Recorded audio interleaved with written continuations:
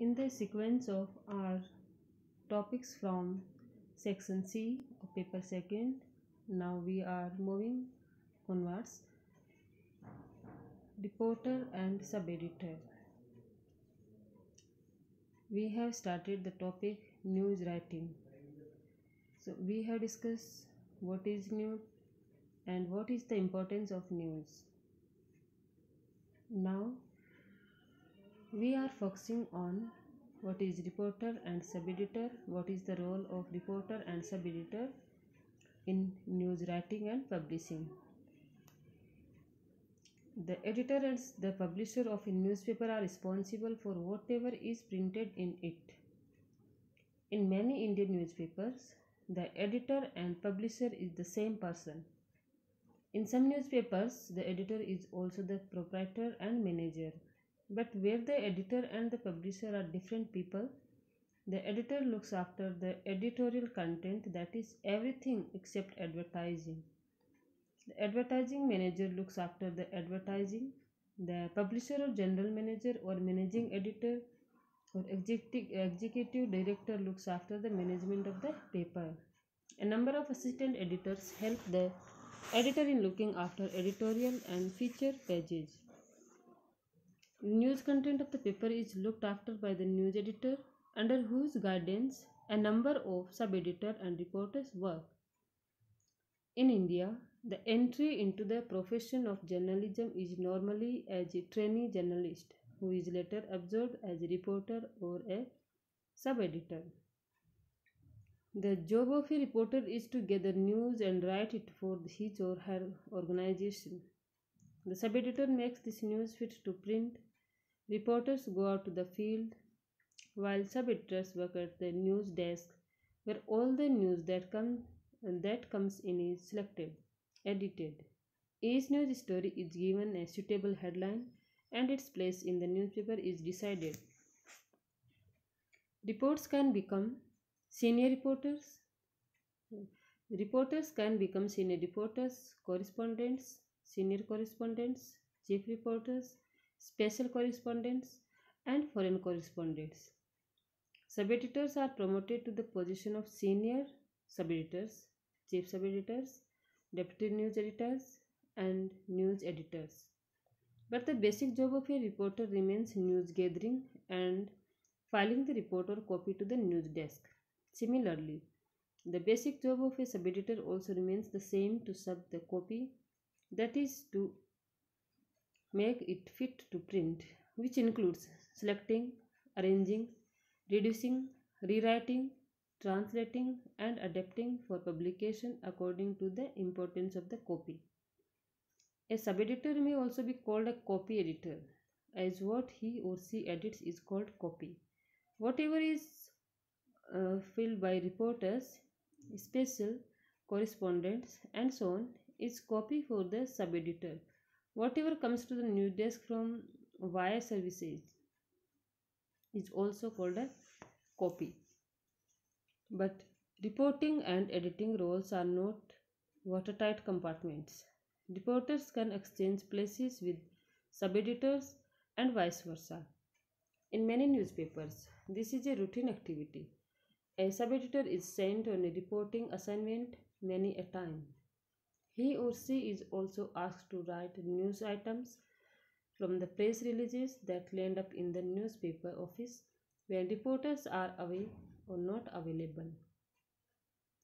To be a good reporter or a good sub-editor, what one needs is common sense and a command over the language.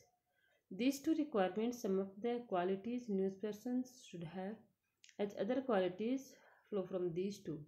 A newsperson should also have basic human values. It is customary to describe the desired qualities of a reporter and sub-editor separately but as both of them deal with the same commodity, news, and their basic job is communicative effectively. Many of these qualities are common. So in the work of reporter and sub-editor and what are the qualities of a reporter and sub-editor? We can see that they should have some qualities in their collection of news. First of all news sense and news should have a clarity objectivity accuracy this is the basic quality of news persons and every reporter has to have news sense or sense for news. To distinguish news from non-news a reporter should be able to compare various news values and decide where to begin the story and should not miss out important details. News sense is essential for a sub-editor also the sub-editor is the first reader of a reporter's copy and if the reporter has made a mistake, the sub-editor has to correct it. A bad copy may have the most important element of the story buried in the fourth paragraph. It will be left to the sub-editor's nose for news to bring it to the first paragraph. Clarity A reporter should have clarity of mind and expression. And it is an important part of sub, a, a reporter or sub-editor's uh, personality. A person who is confused cannot tell a story to others. Only clarity of mind is not enough and has to be accompanied by clarity of expression. Without clarity of expression, clarity of mind has no meaning. The sub-editor is the judge of the clarity of the copy. A good sub-editor will never allow a copy to go through you unless the meaning is crystal clear. He or she has every right to pull up a reporter who is not clear or does not write, a, write in a simple language. Objectivity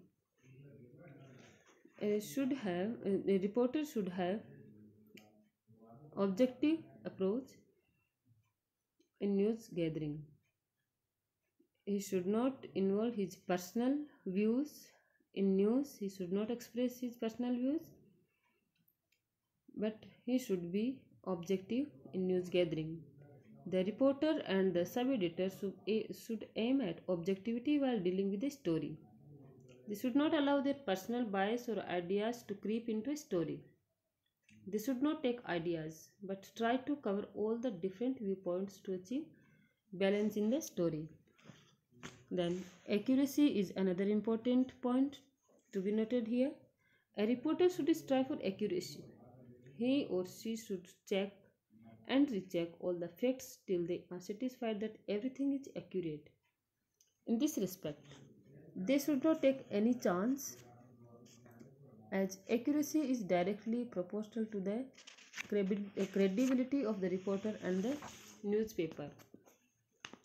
The sub-editor has to check the accuracy of a report. This is particularly important when some background information is involved. In the case of dates and names, the reporter may rely on memory, but the sub-editor must check from them from reference material available in the newspaper office. When there is a doubt, the sub-editor should leave that part out. This is the golden rule of journalism. It is better not to say a thing than to say it wrong. Then alertness is required in news gathering. Reporters should always be alert while dealing with the subjects. Many major news breaks in the past were possible because of the alertness of the reporters. Scopes don't walk into newspaper offices. Alert reporters catch them in the air and pursue them relentlessly. Sub-editor has to be alert while working at the news desk Lack of alertness of a sub-editor can be seen by readers in the morning, for he or she will be leaving or introducing mistakes for everybody to see. Then another thing that matters is speed. In today's world, speed matters everywhere. A person who cannot work fast cannot be a good reporter. While maintaining all other desirable qualities, a reporter should strive to work faster than others. He or she should think fast decide fast and write or type fast to meet deadlines or because there may be another assignment to attend in the limited time available. Sub-editor also has to work with speed. He or she cannot sit with the copy for too long. Sub-editor has to work swiftly for a lot more copy is waiting to be edited. Slow, uh, slow sub-editor is liability at the new desk and is treated with contempt. Such people are misfits in the profession. Next point that is to be required is calmness. Reporters and sub-editors often work in trying circumstances. They have to remain calm and composed even in the most exciting and tragic circumstances. In many situations, they have to remain calm despite hysterical actions and utterances and apply appropriate mental and physical efforts to write or edit the story. Reporters and sub editors are human beings. They have emotions, but they have to stifle them in the face of disturbing influences. They have to develop resistance to excitability. Being in the fields, reporters face many such occasions when they have to control their emotions. Sub-editors should develop a temperament to work under the pressure of deadlines. They should not lose their cool if they are behind the clock, for a calm mind can work faster. Then curiosity is also required. Reporters and sub-editors should have an insatiable curiosity. For reporters, this is useful in developing hunger for information which may lead to better stories. This characteristic will also keep on improving as sub-editor since with every passing day a curious sub-editor will have a better background to, the, to do the job. Reporters and sub-editors should read as much as possible to constantly improve their awareness levels. And we have another points, uh, another qualities that a, a reporter and sub-editor should have.